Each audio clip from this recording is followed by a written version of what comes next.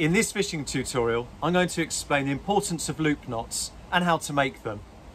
So why are loop knots important? Well, they're used for attaching rigs to poles and whips.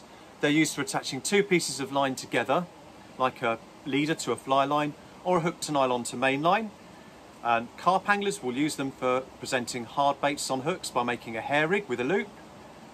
And I even use them myself when I'm lure angling for attaching uh, lures to a knottable wire trace does away with all the terminal tackle like snap links and the like. So let's look at how we can make them. As a beginner, I learned how to tie a loop knot using diagrams, which I found quite mind-boggling. I make a loop like so, and make another loop like that. And then push this through twice. One, two, and pull tight. Always wet your knot first and then cut the tag end off.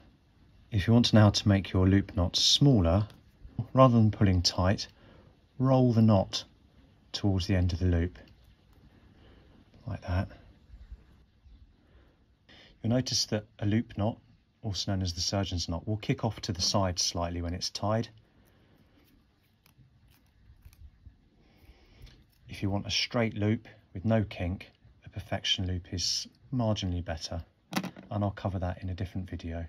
Make a loop in your line like so. Use your index finger to bring tension into it and pinch it at the bottom like that.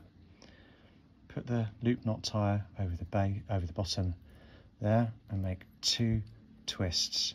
Once you've made the twists, push the loop into the gap like so.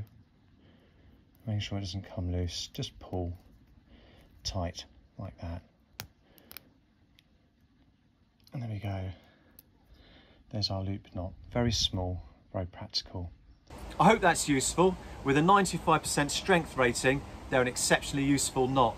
And it's also worth mentioning perhaps that every coarse angler should be using one to attach a weaker hook length to their main line so that if a fish does break the line, it's only swimming around with a short length of line attached to it, not a load of terminal tackle, floats, leads and the like.